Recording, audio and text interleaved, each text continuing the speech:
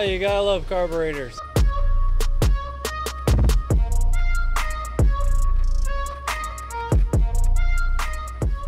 This is the 1968 D100 Sweptline short bed.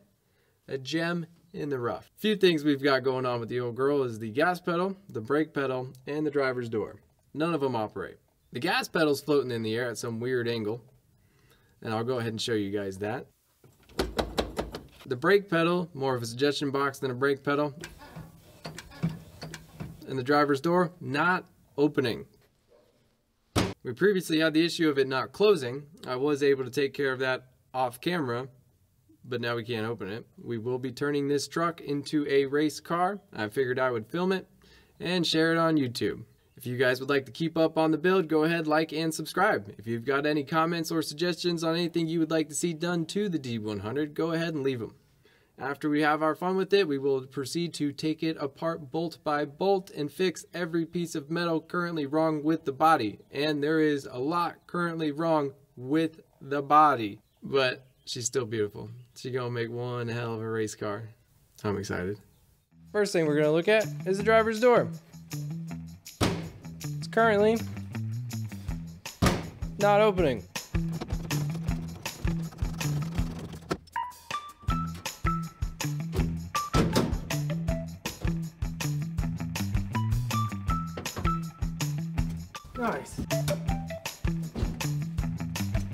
What even is that? Look at this. They just, well, they did whatever they wanted to. Okay, what about the other side? Well, that's pretty standard. And why would you paint over it brown? What are you thinking? Why would you paint over it brown?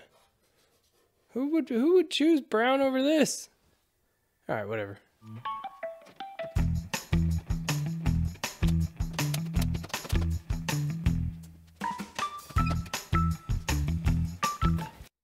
So all we're doing here is adjusting the height. Trying to get it in the magic area where everything lines up and operates correctly.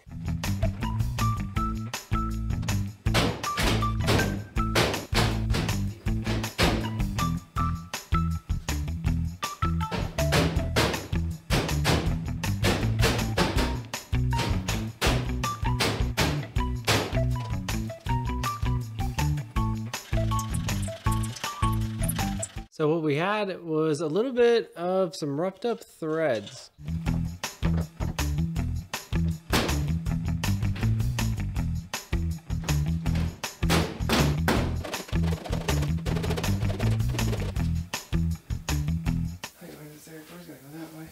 no room for the door to go that way. Jammed here. Should bring this in to go that way, but can't do that. And if I bring the bottom in, all it's gonna do is bring the back out, which will bring this out.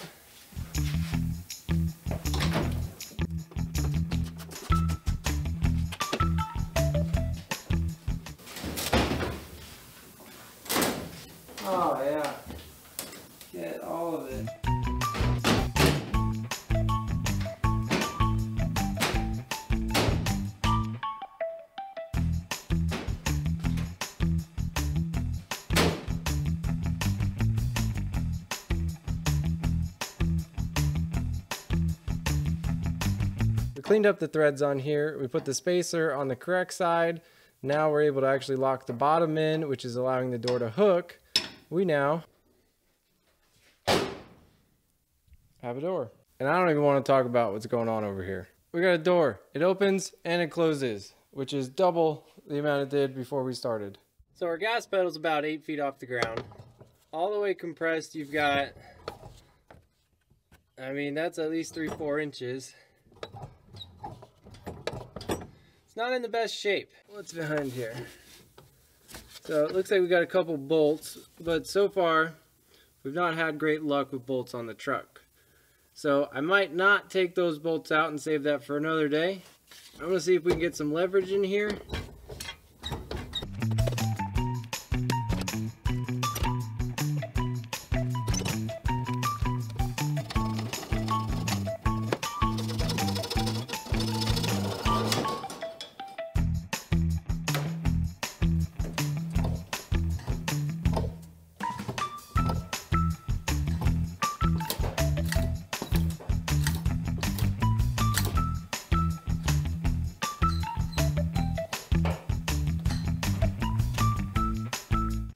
Have you ever seen me wax a car?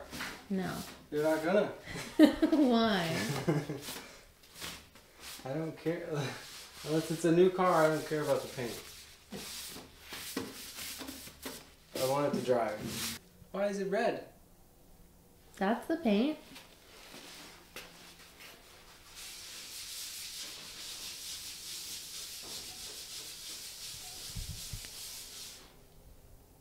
Huh.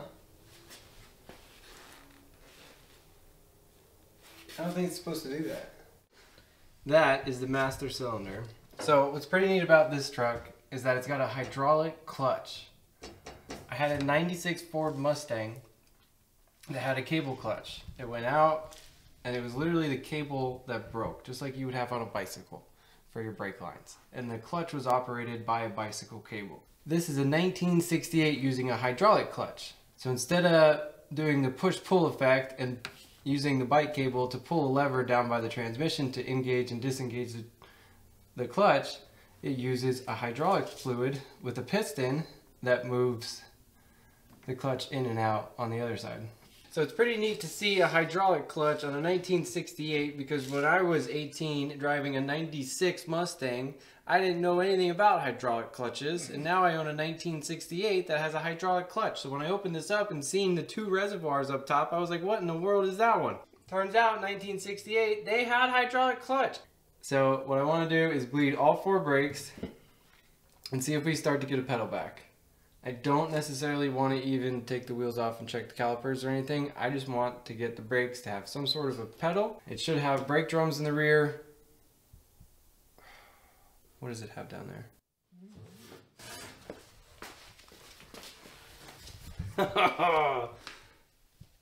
yeah, I don't know what I was thinking. We've got drum brakes front and back. Turds. They're not good. oh. They're not good. They're not good at all.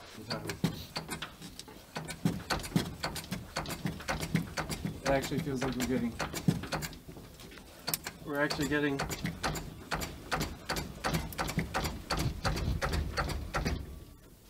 We're actually getting a pedal. Okay, so we're gonna bleed them. And that might be all we need to do.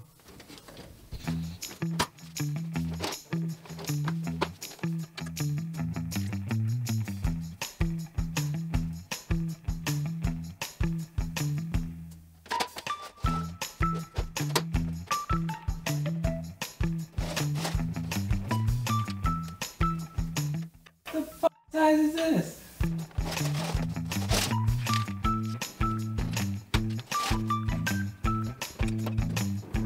We know three out of four brakes at least operate. The fourth one, we could not verify. Hopefully we have at least three brakes. Better than before. And it's essentially ready for a test drive.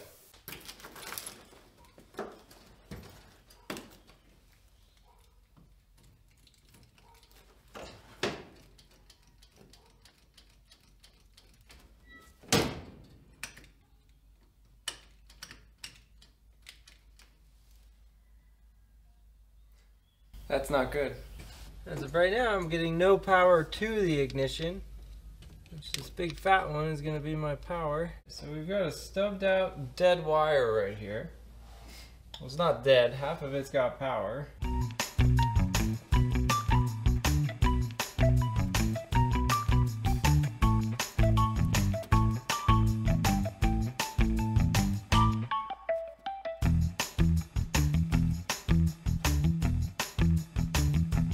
This is a solid power wire that was just disconnected. You know, connectors don't do much if you don't crimp both sides. Which for some reason, there's a lot of that going on down here. Uh, So it's weird. We, we had power, we drove it into the shop. We went to start it, it was dead. Came out here, fumbled with some stuff. Got it to crank for a split second. And then it went dead again. So everything points to a bad connection somewhere. These stupid little wires, no power going to them. But we've reconnected the big guy, and we now have power on both sides of the big guy, so that's something. To check our ignition, it's pretty simple. We've got our main power wire coming in, and you can see we've got power going to it. If we check any of the other various wires, they should all be dead, which they appear to be. And if we put the key in, turn the key on, doesn't do anything. So here's our main power, which we've got power. Now if we go to the other side of our main power, we should have power. So we've got power there. So we know our ignition is good. And we know we've got power going to the ignition. So we now need to trace whatever the ignition goes to. We've got something interesting going on. When we turn the lights on, the starter engages. So this is currently what we have going on. So this is our wire that apparently operates the starter because if we add power to it, the starter starts. And if we add this to this, that closes the circuit, the starter starts. This, I believe, is the wire for the light. Okay, all right, we got something. So this is our starter wire, this is our light wire. That's half of the problem. We just need to find the other half. If we hook power to the lights, the lights come on. Let's tie these two together. Now we should reliably have lights. What else are we working with here? There's no other, oh there's this guy, which looks like our starter wire. Oh my goodness. Stop it. I don't know what this one goes to. I can hook power to it just in case. So now we've got these two, which doesn't immediately operate the starter. So let's tie those together and see if we've got starter. That's our culprit, right there. That guy. We're gonna reconnect that guy and we've got a running truck.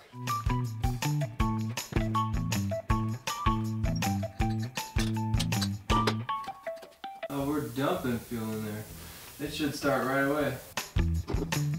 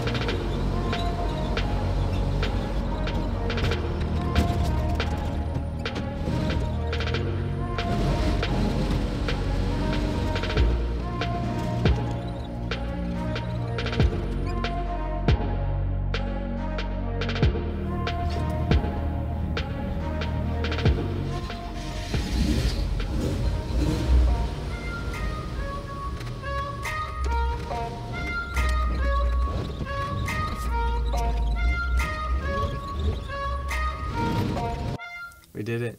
There's a lot of metal work this truck needs. And a lot of custom stuff the previous owner did. We've got, as you can see, the shag top carpet ceiling. Don't touch it, it will get in your face. The whole entire cab was lined with what you see on the ceiling here. And what's left over is the glue and the silicone and the galvanized sheet metal that came from somewhere. We did it. We got the 68 back on the road.